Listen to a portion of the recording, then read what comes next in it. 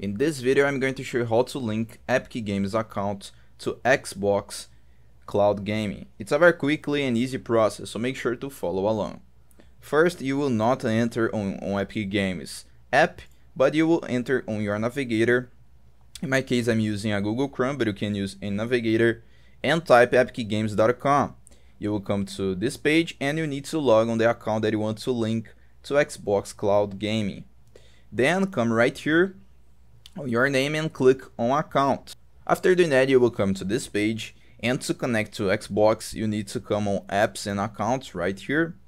You will see several games, the games that you have on Epic Games, click on the second option accounts and by here you can see Xbox. So just click to connect and log on the account that you have the Xbox Cloud Gaming.